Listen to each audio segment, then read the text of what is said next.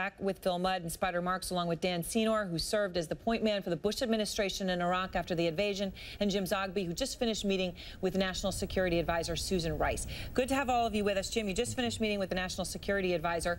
Um, what can you tell us about her thinking and this administration's thinking? Are they thinking they will intervene for a humanitarian crisis, or will they only intervene if they really believe that those 40 Americans in Erbil's lives are at risk? Well, I don't think I'm uh, at liberty to divulge what uh, the, the National Security Advisor said. Uh, I can just say that I think that the administration is deeply concerned, as they've demonstrated, uh, with the situation of the Chaldean Christians. We had a meeting uh, with uh, Ben Rhodes just last week with a group of Chaldean Christians talking about the specifics. what can be done to support them in the areas where they are and in the areas where they fled um, and, and to, to, meet their needs and to provide some protection. At the same time, this uh, horrific situation of the Yazidis that just occurred in the last, uh, last few days mm -hmm. is something that is, is gripping uh, and gripping to everyone. So this is a humanitarian crisis, the ethnically cleansing entire areas of the country, this armed gang of thugs uh, that is uh, committing uh, atrocities against uh, people. I've been getting calls from folks uh, who've just come back from Iraq or in Iraq. Uh, it's heartbreaking what, what is happening. So I think the president is, is, is correct in providing humanitarian assistance, and now they're deliberating how and, and can they um, I, what we're hearing is, you know, can they in involve themselves militarily? I see yeah. the Iraqi government is, the Air Force is. Yes. Uh, this is a gang of thugs that has to be stopped. And we should report, um, our Ivan Watson on the ground in Erbil tonight is reporting that two senior ISIS commanders, as they call themselves, Dan, were, uh, were killed by Iraqi airstrikes tonight about 30 miles away from Erbil. Yeah. But to the American public looking at this, they are saying, we've been in Iraq before. We've been in Iraq multiple times before. They do not see it as a success. They see it as something that is is, is, a failure. And they say, why? Why should the United States go in for a humanitarian crisis in Iraq. There's humanitarian crises going on all around the world. Sure. So I remember John Kerry, I actually thought, made a very good argument yeah. for the intervention in Libya, mm -hmm. in which he said there's several criteria that we need to look at when we're contemplating uh, an intervention. One, is there a human cat catastrophe? Do our moral values, America's moral values, you know, have an interest here in addressing what's going on? Two, do we have a strategic interest? And three, do we have the capacity to do something? And that was true for Libya, and it's true for dealing with this humanitarian catastrophe, catastrophe today. It's mm -hmm. in mm-hmm. our moral interest. It's consistent with our moral values. We have the capacity to do something, yeah. and it's actually in our strategic interest from presenting, from, from, from in preventing this huge swath of a strategically important part of the Middle East being overrun by a radical Islamist group. I mean, this is this is uh, it, imagine Afghanistan pre 9/11.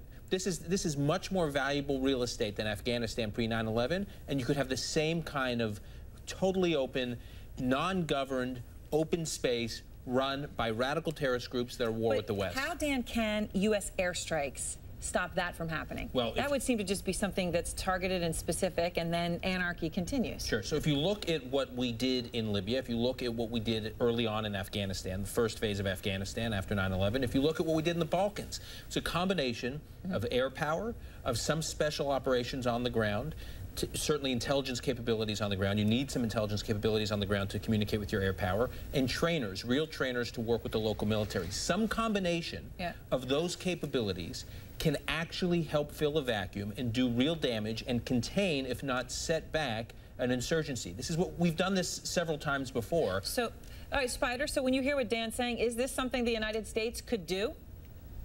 And how quickly could they could it be done? the United States can do almost anything it wants to do. Um, the challenge that we have is, I need to go back to what Jim said. I, I, think if we demonize ISIS with the word thug, we might in fact diminish uh, the image that we have of these guys. They are incredibly egregious, and it's like the Taliban on steroids, and they're an armed, capable force. So if you put that on the table, the answer then becomes, as Dan described, an ungoverned space as an inevitable outcome. If that's an okay outcome for us, and if Baghdad can live with us, li live with that type of an outcome, then the decision's an easy one. We'll, we'll sit there, we'll monitor. I don't subscribe to the fact that ISIS is going to be metered in any way. They certainly are not going to control themselves, and they're not bounded by any sense of rules of engagement or any sense of propriety at all. So the United States has an obligation, in my mind, to get involved. Not only for the humanitarian part, but also to ensure that we don't lose Baghdad. So, Phil, does this does it get better though if the United States intervenes? You look at Libya. Uh, some might argue that was a success, but certainly it is lawless, and there's a, a lot of anarchy going on there. There's gunfights and and insurgents controlling much of that country now. I don't think the tipping point is whether the United States gets involved or not. I'm not arguing for or against. That's a separate question. Yeah. What I would say is, in my experience of watching these groups, here's the horrible tragedy of this.